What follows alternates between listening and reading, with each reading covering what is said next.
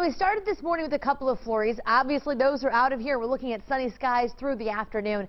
Temperatures today topping out right around freezing. And then with clear skies and light winds tonight, it is going to get cold. Take a look, dipping down to about 15 degrees for tomorrow morning. Sunny skies and 35 on Wednesday. Another nice late January day. Now, getting into Thursday, we have a system coming in that'll bring us scattered showers. But notice that temperature early Thursday morning. We're dipping down to around 30, so that is below freezing. And there is the potential we could see some patchy freezing drizzle, patchy freezing rain early on Thursday. Not a lot of it, but enough that we could see a couple of slick spots during the morning commute on Thursday. Plain old rain, spotty showers through the day, and then it may end late Thursday night as a couple of flurries. Again, no big deal as far as accumulation goes, but it is a cold front, giving us temperatures in the 30s for Friday and Saturday.